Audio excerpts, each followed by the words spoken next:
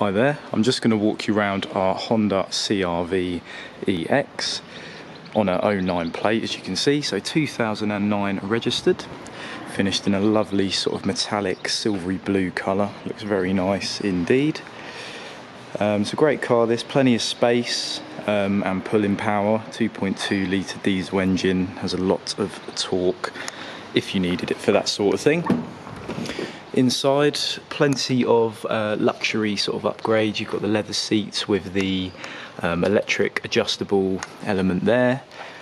Multifunction wheel, you can uh, do your different controls like volume up, different radio stations, that sort of thing, cruise control on the button there. You've also got the electrically adjustable wing mirrors. In the centre there, you'll see the screen.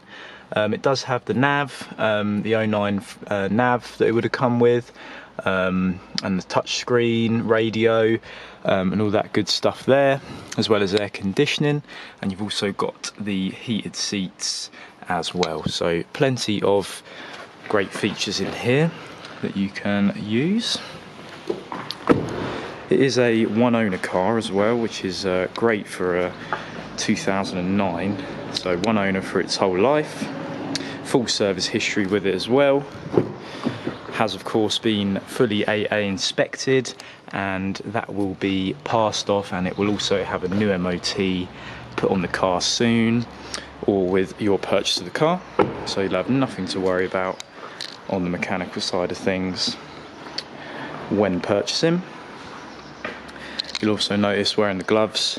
Of course, we are practicing all the COVID 19 regulations, social distancing, all that sort of thing, making sure everyone that comes here is safe.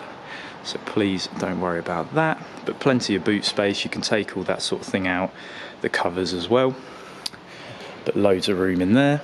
Let's walk you around the passenger side now.